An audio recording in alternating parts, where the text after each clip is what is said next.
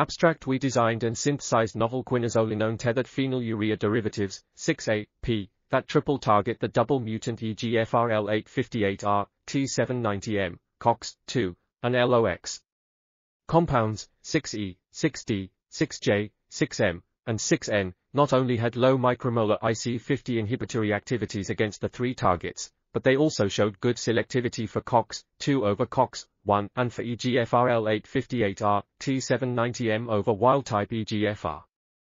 Except for 6E and 6N, all of the tested compounds inhibited the NO production significantly more potently than Selexib, diclofenac, and indomethacin. Compounds 6I and 6K reduced ROS levels more effectively than Selexib and diclofenac.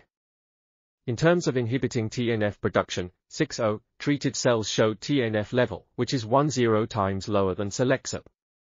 Furthermore, 6. This article was authored by Hend Kotuia, Samaresk, Ahmed S. Abdelkalek and others. We are RTCL.TV, links in the description below.